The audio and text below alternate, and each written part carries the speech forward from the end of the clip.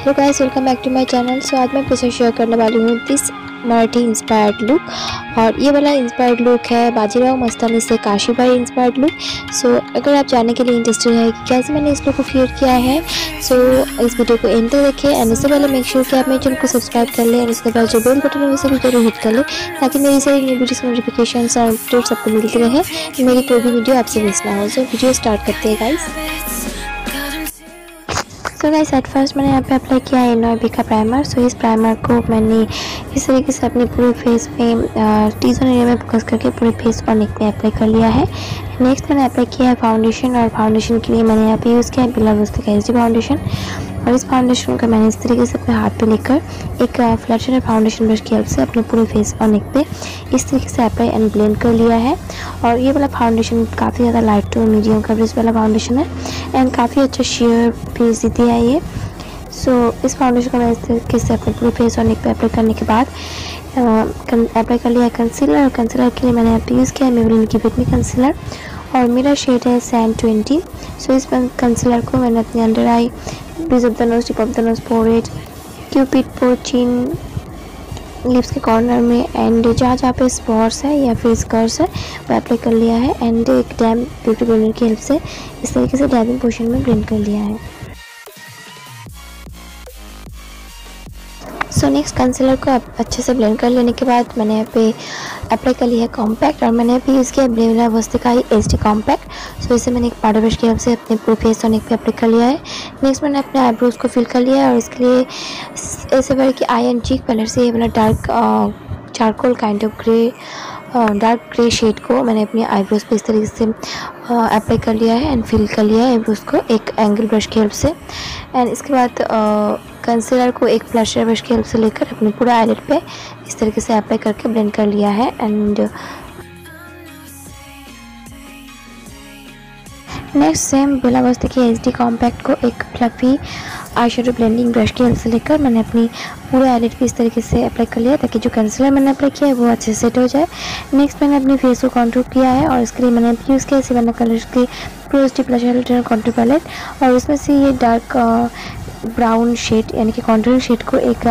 Small bag brush की help से लेकर मैंने अपने पूरे फेस को अच्छे से कंट्रोल कर लिया है एंड थोड़ा सा पीच करके अपने नोज़ को भी कंट्रोल कर लिया है।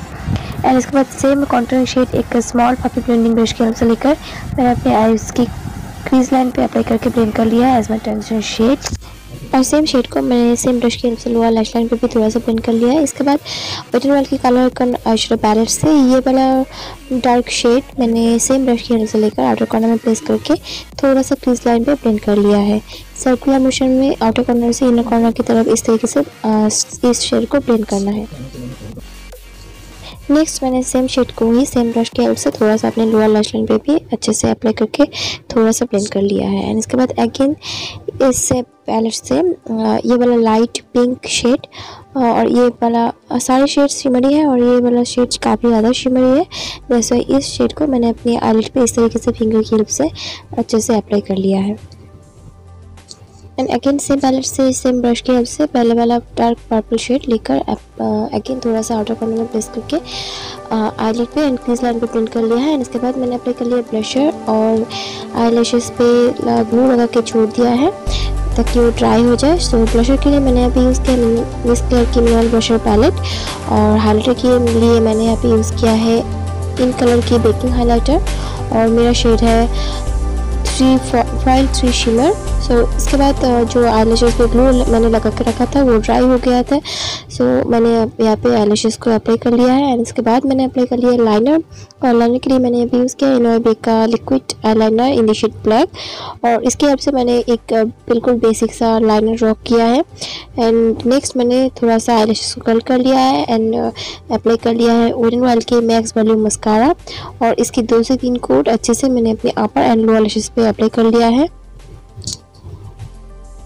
नेक्स्ट अगेन वेटर ऑयल की कलर को कॉन्ट्रास्टर पैलेट से, ये वाला लाइट पिंक शिमरी शेड अपनी फिंगर के से लेकर मैंने अपने आइस की कॉर्नर एंड ब्राउन को हाईलाइट कर लिया है। एंड इसके बाद मैंने अप्लाई कर लिया लिक्विड लिपस्टिक और मैंने अभी उसके एन और बे की लिक्विड लिपस्टिक और इन द शेड इलेवन और इसके बाद अगेन हुडा ब्यूटी की डार्क लिक्विड लिपस्टिक मैंने यहाँ पे अप्लाई कर लिया है और ये एक ड्यूब लिक्विड लिपस्टिक है।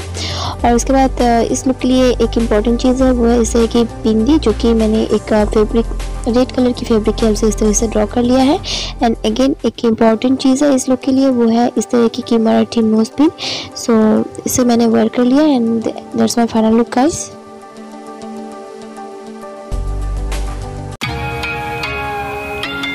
so guys I hope कि आज का लुक एंड आज का वीडियो आपने काफ़ी ज़्यादा एंजॉय किया एंड आज का लुक आपको पसंद आया। सो so, अगर आपको आज का लुक पसंद आया एंड आज का मेरा वीडियो भी पसंद आया देन मेरे चैनल को कीजिए सब्सक्राइब एंड इस वीडियो को कीजिए लाइक एंड शेयर अपने फ्रेंड्स एंड फैमिली के साथ। एंड आपको ये लुक कैसा लगा वो भी आप मुझे कॉमेंट करके ज़रूर बताएँ। सो मिलते हैं